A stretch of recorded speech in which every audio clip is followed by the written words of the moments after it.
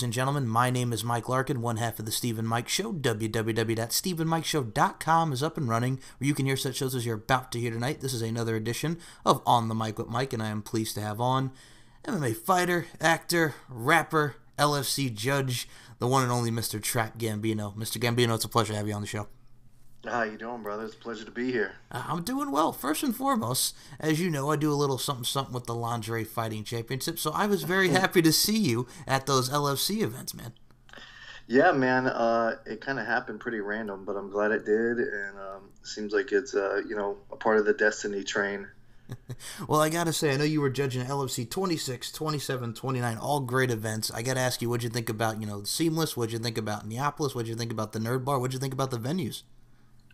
The venues are awesome. Uh, the Nerd Bar. So I've been in the Nerd Bar before. Before I came to LFC 26, and I honestly didn't know how they were going to fit a cage in there.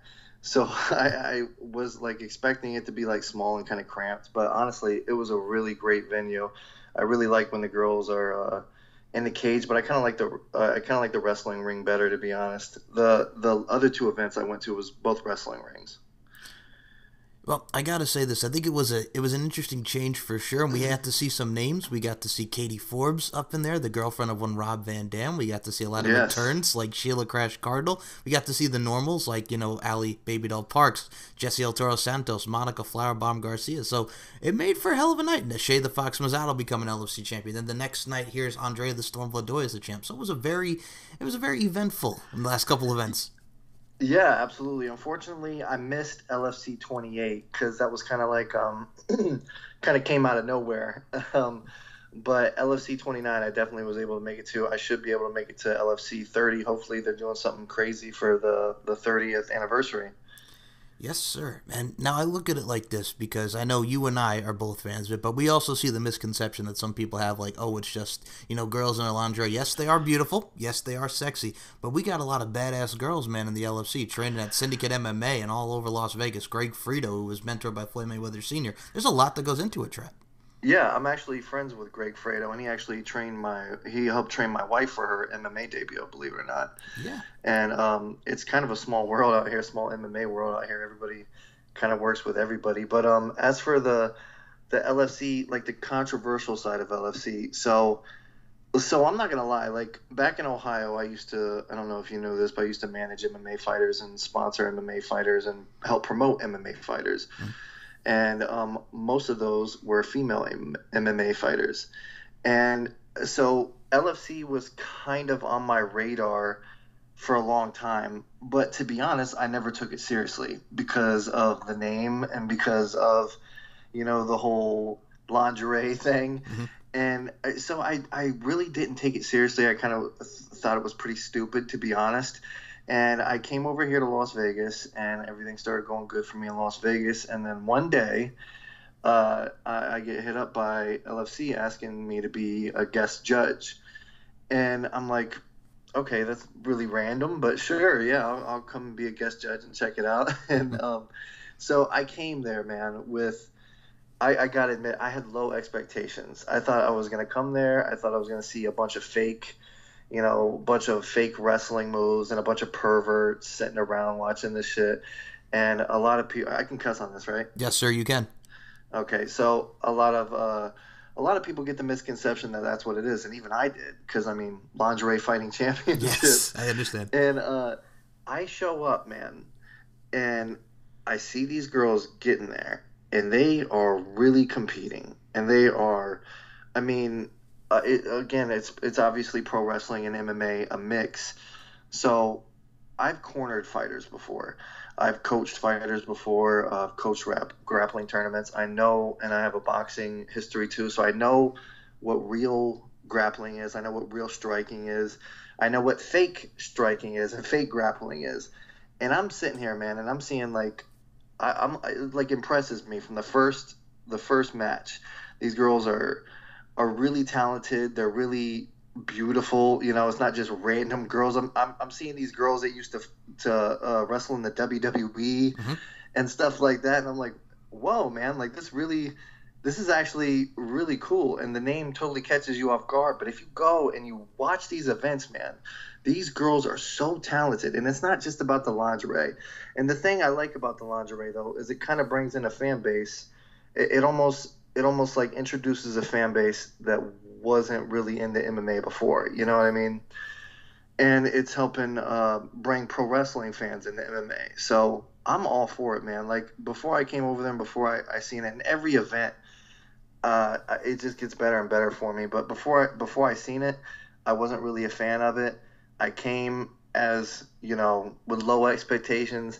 They blew that out the water, man. And now I'm like a hardcore fan of these girls. Like it, it, it's really cool, and I'm starting to know the I'm starting to learn the storylines and yeah, man, I'm getting really into it. Okay. I do have a couple things I want to add, Mr. Judge, because I saw you doing your thing on, and we're going to talk about your videos. But you see, you actually segued into something very cool because, yes, there are a lot of former WWE talents and current former WWE talents in LFC. Uh, perfect example, Trap. I mean, the former uh, Roxy Roundhouse Michaels, the former LFC champ, aka Renee Michelle, is on doing her thing now on WWE on Raw with her husband, Drake Maverick, the former Rockstar Spud. So you see a lot of pro right. wrestling tie ins, man. I think that's very cool about it. And like you said, you look at the name and then it comes in. And I'm going to put this to you because I think you'll like this analogy.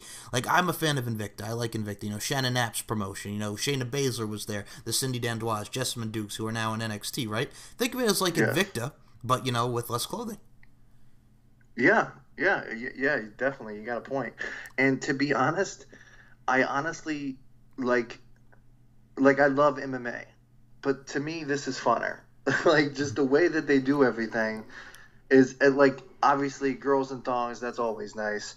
But you know that that's like the least the least part of it. Like these girls they really they have fun and they mm-hmm. make you a part of the show. And it's interactive. And these these girls the promoters uh, shaun donnelly everybody really does a great job as uh, putting on a real show. Like i've been to mma events before. You look around you see everybody on their fucking cell phones you know, posting selfies and shit like that. On and uh, LFC, everybody's paying attention to the girls, the the fights, the the promote, you know, the event. It's it's all it's all a great show, man. I love what they do. I think they do great with live events. I got to say this to you. We also did see the because uh, I saw you judging doing your thing at LFC 26, but we also saw someone from the pro wrestling world in there, Mr. Austin Aries, former Ring of Honor yeah. champion. Yeah, Austin Aries. He's a cool man. Uh, that was the first time I ever met him and uh, yeah, we, we got along really well. We were we were having a fun we were having a fun time judging together. yeah, him and his uh, was it the sailor hat man? You know, captain like yeah, yeah. We were kind of learning the ropes at the same time, and I guess he was he he knew a couple of the girls in there, so he was telling me a little bit of history and to help me learn as well. Got you. Well, I think you excelled at that, and I can't wait to see what you do more with judging, man, at LFC. I appreciate it, man. You are very welcome. Speaking of this, I have to mention this to you because I was looking at your social media and you did one other thing I got to mention wrestling. We got to about talk about two kings, man. I saw that photo with you and Jerry the King Lawler, the WWE Hall of Famer. Oh yeah, yeah. Dude, you got to talk to me about meeting the King, man. The Jerry the King Lawler. Oh hey, man, dude. So this is the funniest thing ever. So uh, we're doing a music video for Pharrell Williams. So I'm an actor. I, am sure you know that. Yes. And um, I was the main cameo for the Pharrell Williams Yellow Beezy video. You can look it up on YouTube. It's called Rich Motherfucker. And um, we were filming at the Palms.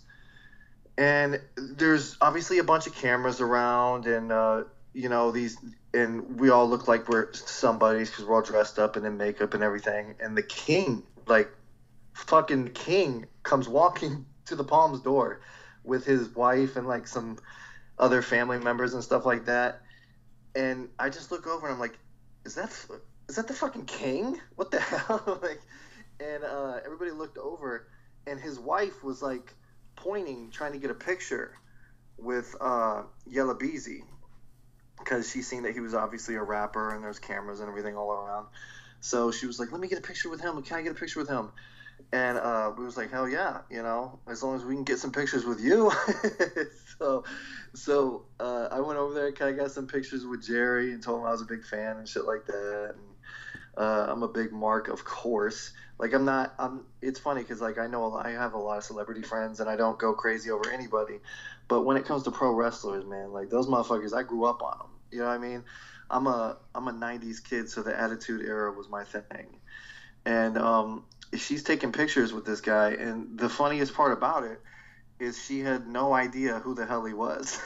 she just knew he was somebody famous because all the all the cameras and stuff around her.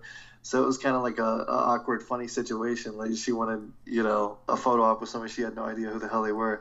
But um, he's a really cool guy, man. He was uh he was totally down to earth. Came with his WWE shirt on, so he definitely wasn't hiding or anything. well, I gotta say, I mean, the man's legend, AWA champion, the bouts he had with Bret Hart, Curt Hennig will be here all day. Hall of Famer, announcer, man on the moon, man. Him and Jim Carrey. Hell yeah. See, see I I kind of I was a little bit um, after that. See, I know him as the, you know, the guy screaming puppies yes. when girls get naked. I know him as uh, the king, the announcer. You know, I'm not really like I didn't really follow like the '80s wrestling and stuff like that. But when it comes to like um, late '90s, probably from like '97 to 2001. Mm-hmm. I know like everything about pro wrestling. I was such a big fan during that time. That that to me was the golden years. See, I got to give you respect for that because '97 had one of the integral moments with the Montreal Screwjob with Bret Hart going to WCW and then going to oh, yeah. yeah, then going towards the end where everything closes and WWE's like the only game in town and the invasion angle, the alliance with Heyman. Yeah, yeah so that's a good time. It's crazy how deep that story goes, man. It's how real it is too. It is. Uh, and I just look at it too, like like you were talking about here. Here's the funny thing, like Jerry Lawler. That's I'll be honest with you. I came into the game late too, like around that time period. And yes, Jerry Lawler was known for puppies, puppies. Jr. Look, the puppies, puppies, puppies. So that's yeah, that's absolutely. what you so that's what you got into. But yeah, I appreciate that, man. And by the way, I got to tell you something. I did listen to that song, Yella Beezy, Rich Motherfucker. Dude, that is a badass song. I saw you in the video drinking the champagne, giving the old pound, doing your thing. Yes. Yeah, it was actually Diet Coke. They made it look like champagne. All right. Well, whatever. You, you were sipping on yeah. something there. yeah, yeah. Um, it's it's kind of funny about that. I showed up to be uh, background work, so I thought I was going to be background work for that, and I showed up and there was like, I want everybody wearing a suit except for you. I want you to wear this, and then we're gonna unbutton it a little bit. Nah, I'm buttoning it a little more. Eh, even more. Next thing you know, I look like a fucking like a, a 80s sugar daddy from Miami. so they got me they got me all decked out, man, and I'm I'm the main cameo in the video, so that's pretty cool. It is, man. I liked it. And you're yes, like your '80s sugar daddy pimp. You're kind of looking like Huggy Bear, like your Starsky and Hutch, broski. Yeah, it's almost like a thing now, man. Like every time I, I show up to an event now, I try to dress like um, like a hidden GTA character or some shit, you know. well, I look at it like you, like how you present yourself. Like you know, you're not a YouTuber. I'm a fucking gangster. And then the build up going into LFC, you're into limo. You got the women about you. You you are legit like a like a Ric Flair almost. You know, you see these shoes that cost more than your house. All I need you to do is just start saying "woo," man. Yeah, one day, one day I'll be flying those jets and shit too. Limousine riding, jet flying, kiss stealing, wheeling, son of a gun.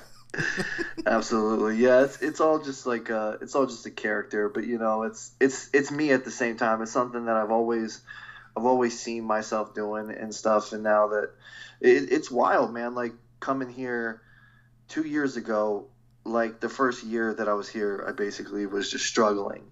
And then the second year I was here, I was just like figuring shit out. And then out of nowhere, you know, I, I kept going through these trials and tribulations and I don't know if you know this, but I was homeless a little while ago, and it's it's pretty crazy, man. Like going from sleeping in your car at the Circus Circus hotel parking lot to, uh, for example, tomorrow I'm going to be on cable TV uh, hosting a show, you know, hosting a, a fight show actually, and it's just it's a wild ride, man. It really is, and uh, I hope my story inspires other people to do the same because even though it wasn't the smartest thing to come out here with with no like I came out here with no job, no family out here, no friends out here, no money, no plans, no anything. Just like okay, we're gonna get in the car and follow my dreams, and somehow I'm gonna make it.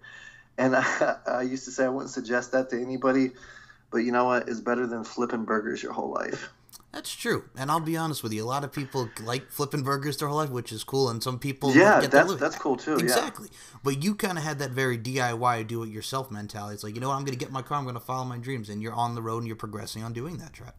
Yeah, I was fired from every single job I've ever had, and unless it came here. It's funny because like I tell people like I'm not a stable guy. I'm kind of crazy, and like in Ohio where everything's normal, I'm crazy. But out here where crazy you can you can make money and entertain people from your instability and they call it talent. So that's where I'm at right now. I just also wanted to reiterate to what you actually said earlier because we were talking about Syndicate MMA. We were talking about Las Vegas, right? Greg Frito, dude. I saw, I've seen, I've seen. I'll give a shout out to your wife. I've seen the mob wife doing her thing, and you too, and, you, and you're practicing with your kid. You're sparring with the kid. I love that, man, because you can't be yeah, absolutely. Yeah, she's a she's a tough mom, man. She's she's definitely mom over everything else. She's the best mother I know for sure. And I appreciate that, man. Like I said, I think you two just together, whether you're just doing your thing, you're sparring, you're acting. Which, by the way, Clicker the Clown, my dude, that was that was great. yeah, that was uh, that was pretty crazy, man. I think that was actually my first one of my first gigs out here. Well, I gotta tell you, I think just the way that you did it, like it's like that horror film, like you know, it kind of deal, but minus you know being in the sewer, telling them you all float down here, you're just coming yeah. straight at them. Yeah, see, like the whole, the whole, um, like the, his mannerisms and stuff like that. That was my idea, but the whole production and everything that none of that was written by me. But um, yeah, I'm, I'm basically, I'm I'm basically just the talent, but I'm like slowly starting to learn how to how to do the producing and stuff like that. Like for for this new movie I'm going to be in, it's called believe it or not, it's called Cupcake, and uh, which is kind of a you know fairy name, but whatever. I'm sure there's a lot of fairy shit I'll have to do in this business.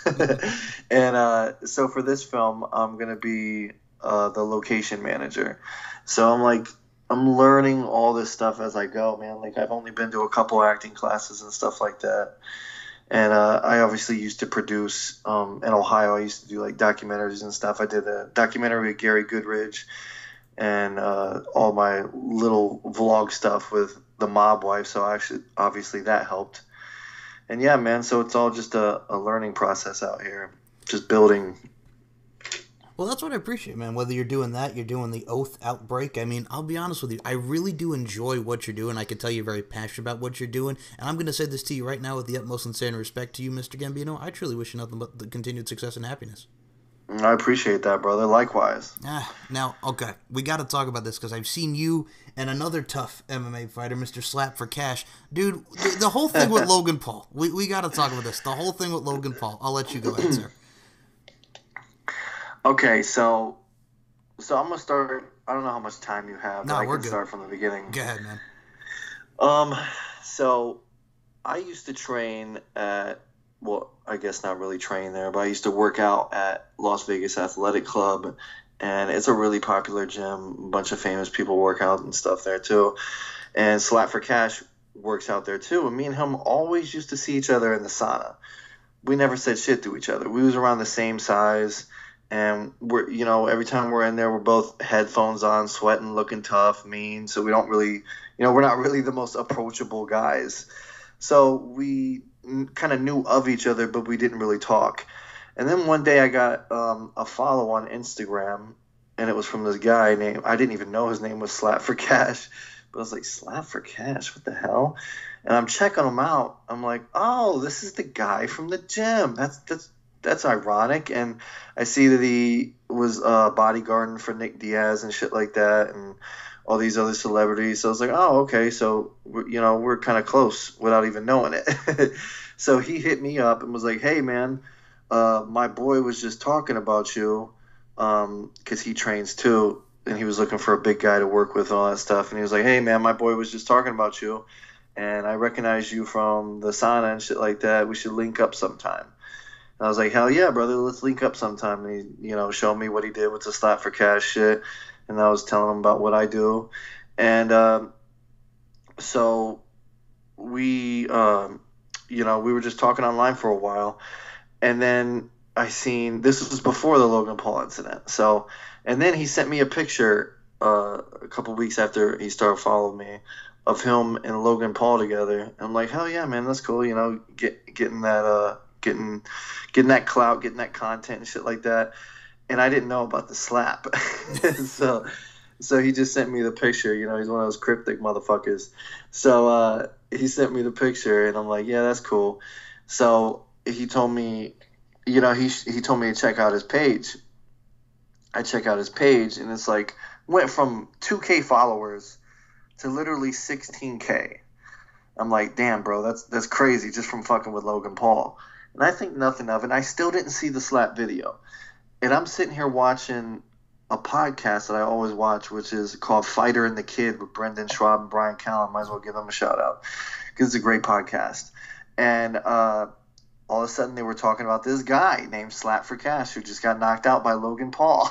and I'm like, what the fuck? And I see the video and I'm like, oh my God, dude. So I call this guy right away. I'm like, you know, what the hell's going on and shit like that. And he told me, you know, we're going to talk in person.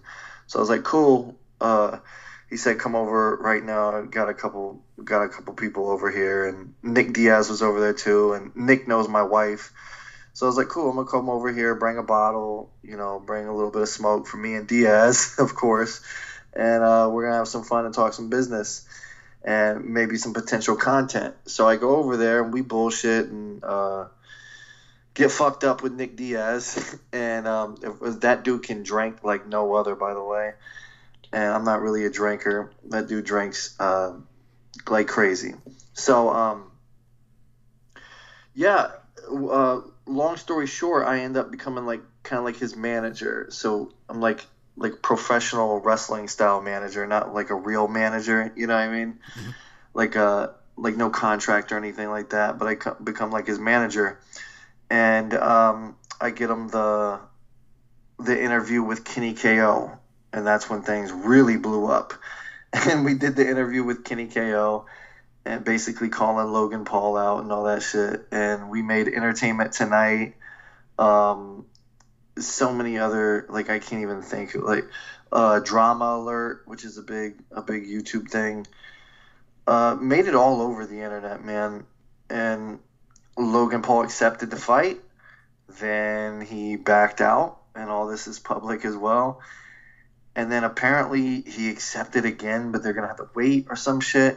So, in all honesty, man, like it was cool for me while it lasted, but like I was, it was just getting so fucking old, and it was consuming everything in my life because, like, Logan Paul is way bigger than me right now, obviously. Yeah.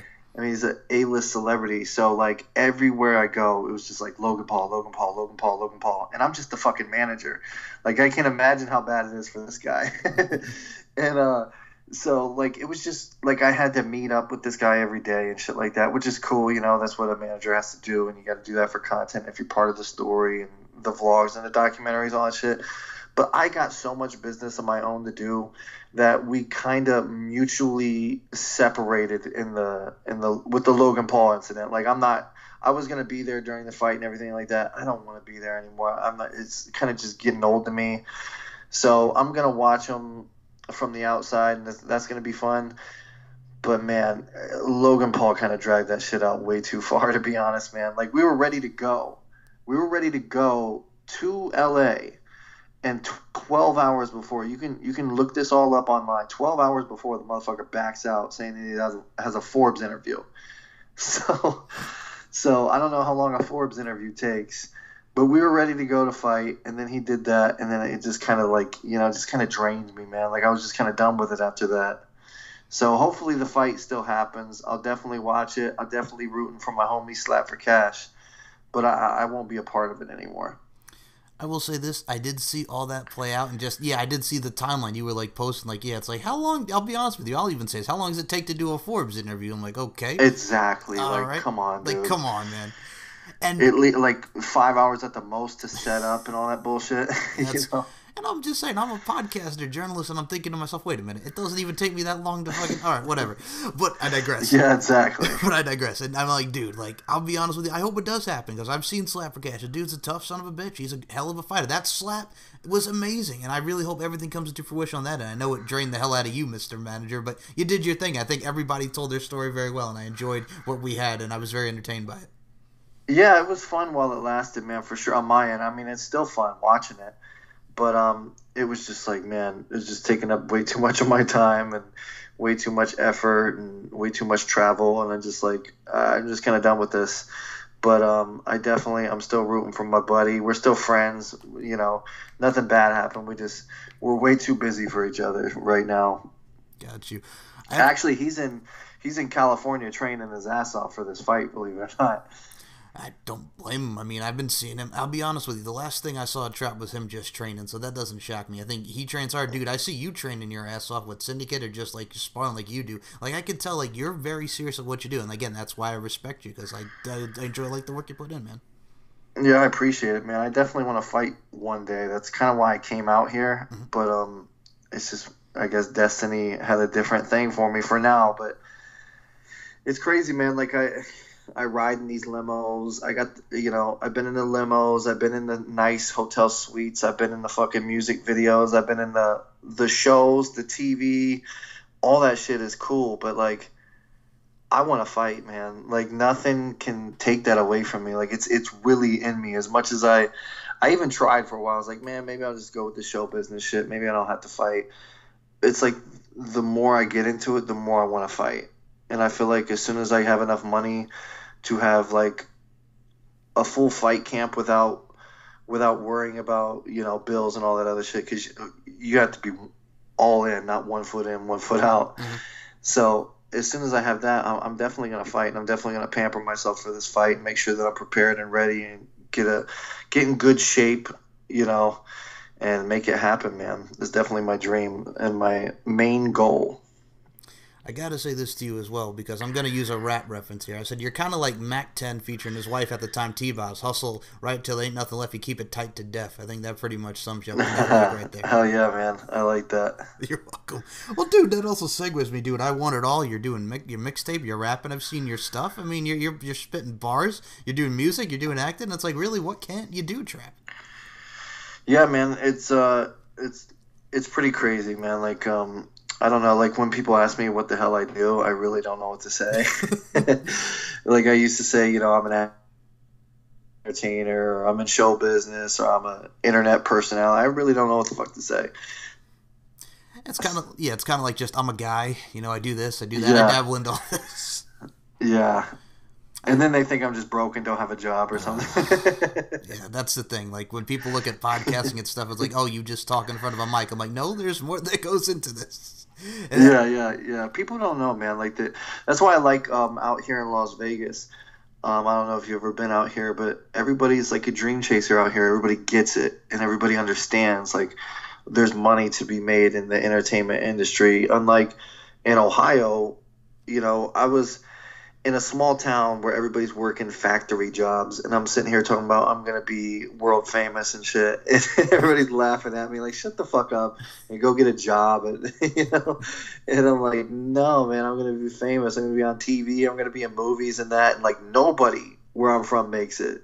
So I, I honestly don't blame them but it does kind of feel good to like look back and be like you know look at me now Exactly. And that's the thing. I'm going to say, I've said this to, since the beginning hard work pays off. And for you, I just want to say this because we were talking about MMA and pro wrestling, and I just wanted to ask you this. What do you think about the overall tie ins over the years? Because we've seen like, likes of Ken Shamrock, your Dan Severns, your Tank Abbott's, you know, what Ronda Rousey's done, and, you know, CM Punk people dab- dabbled into it. But what do you think about the old MMA pro wrestling tie ins and correlations that we see, Trap?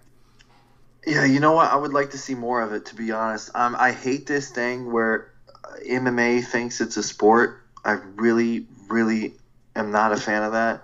I wish they would just be like, okay, look, we're a spectacle. This is what we do. We're here to sell sell tickets. And I know, like, I feel like ten percent of the I I could be totally wrong with this, but I feel like ten percent of the fans want to see a sport, and I feel like the rest of them just want to see crazy stuff. Mm-hmm. So in my like, this is my vision, man. Like to be honest, I this is another thing I want to do one day.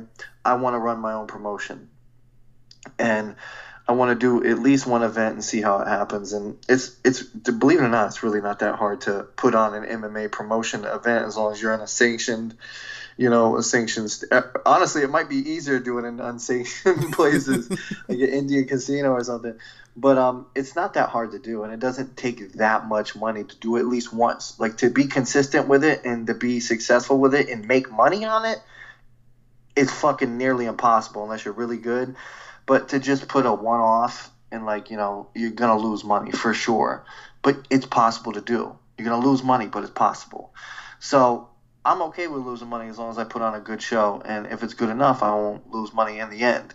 So I I have this vision, man, of of fighters coming through, you know, like the pro wrestling shit, like the Fire, the Titantrons, um, you know, the big, you know, like when you know when Raw started in like the the early 2000s, late 90s, you had the the crazy fireworks yeah, and the stuff crazy like that. pyro like, and the crazy yes. entrance. Yeah, that's what I want, man. I want the fighters to get up in the cage or whatever the hell they have, and that, that's another thing I don't like the cage, but um, to get up in whatever the hell they have, and you know, I want it to be like a spectacle more than more than a sport because I feel like we're getting lost in, in the sports shit. Like now we got rankings, and those rankings Yeah. don't even make sense.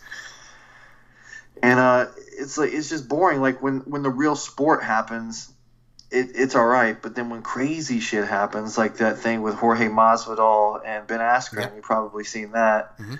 Um, it's it you know it get it goes viral. So like it's obvious what sells and what people want to see. I don't know why they're making this a sport. I really don't. But it, it's kind of cool at the same time too because it's official, you know, and at least we're being taken seriously.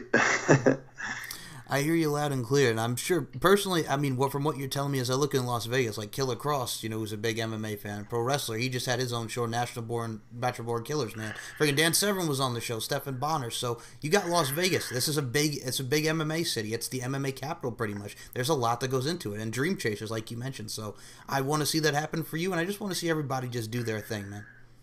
Yeah, absolutely. I think the more the better, man. Like I don't think you can oversaturate the market of MMA because it's so new and there's so many there's not a lot of fighters. You know what I mean? Like everybody sees this shit on TV and they think, "Oh man, it's, you know, you probably there's so many people in it." Not really. Like I know like half of the MMA fighters in the UFC. Like it's really a small it's a small community.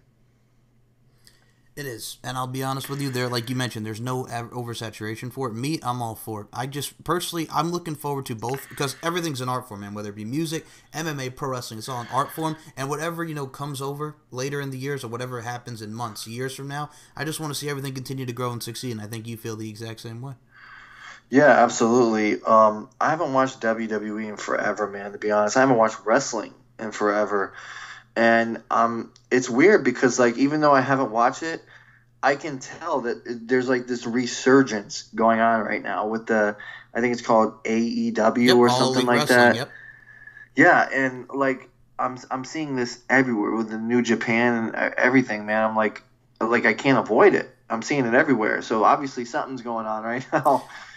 It, it's interesting because you have guys like Cody Rhodes. Now, this is Cody Rhodes, the son of the late great American Dream Dusty Rhodes. You got the Young Bucks, who are top talents in Ring of Honor, New Japan. They've been everywhere, Trap. So you have them coming up with this promotion. They're bringing in all these new talents, and now they're going to be on TNT like WCW used to be back in the day. We got New Japan coming to the States and taking their shows to like California and all over the place. They're going to be in New York in September. So, I mean, like, there's a lot of stuff coming through, man. And it's a very exciting time for pro wrestling. Yeah, it's very interesting, man. Um, I'm doing a show tomorrow where we're actually talking about all that, and I'm gonna have to do my research because uh, there's so many local, even like local wrestling shows around here in Las Vegas that uh, I'm gonna have to start learning and stuff like that. Just like um, with the LFC, and hopefully I can make some appearances and you know get deeper into it. Oh, perfect one in Las Vegas. Future Stars of Wrestling, man. That's the big one in Las Vegas. Future Stars of Wrestling. Yeah, for sure. I know about them. I'm actually following them on Facebook. Hell yeah. All right. So, Mr. Gambino, I'm going to say this. I actually have a couple final things I want to add, and I'm going to say this to you. Anytime you want to come back on the show, you're more than welcome to. I had a blast talking to you tonight. Hell yeah, man. Thank you. Uh, you're very Likewise. Thank you. Uh, sir, what we like to do with this, we inspire and encourage, and I know a lot of people will be inspired and encouraged by your story. But for you who's doing, you know, looking with MMA, I'm talking about music videos, acting, rapping, doing your thing and doing as only as you can do, Trap Gambino, what advice would you give to anybody that wants to pursue any endeavor that we just mentioned, anything in life? Um, you know what? Sacrifice, I think, is the most important thing. Um, sacrificing what what you think will happen over what you hope will happen. And believe it or not, faith has a lot to do with everything. Um, kind of like how I just like I packed up everything in a car. Didn't really have enough gas money to even make it here, but I kind of just I knew I knew that destiny was going to take care of us. And the further I got away from my home, the more impossible it was to call people to help me and stuff like that. But the more so the more scared I got, but the more free I felt. And when I got here, I, I went through so much struggle, so much tribulations, and being homeless with my wife beside me, my kid behind me in the car, and you know, my kids asking me why she's not sleeping in the bed. Worst thing that's ever happened to me, but the best thing that's ever happened to me at the same time. Sacrifice is the most important thing, man. If I would have gave up, if I would have just said, "Fuck it, I'm gonna buy a bus ticket and come back home," or, you know, I'm gonna just I'm gonna give up on this and just go back home and be normal, I would never be where I'm at right now. So I think sacrifice is the most important thing, and even though it it sucks, it's gonna be so worth it in the end.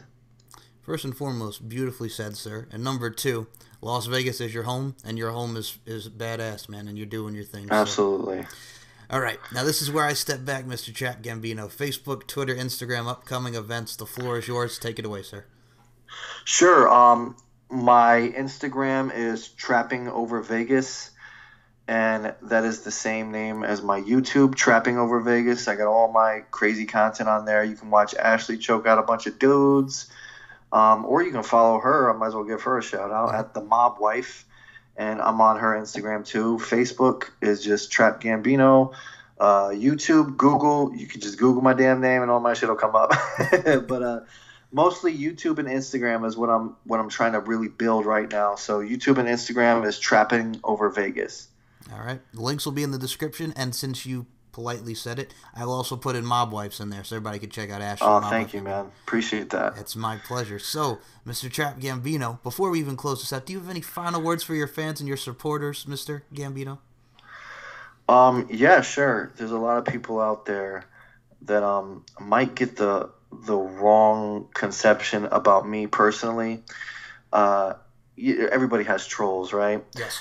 Um, my trolls are like trolls 2.0. So I just want to I just want to tell them like I get it. It's fun to troll people online. It's fun to it's fun to have fun and, and make fun of people and stuff like that. I'm not I used to be butthurt about it and everything like that, and I'm not really into that anymore after you know, it's a lot easier to deal with it when you're successful than when you're homeless. So they were doing it when I was homeless. They're still doing it when I was successful and uh, it feels a lot better now.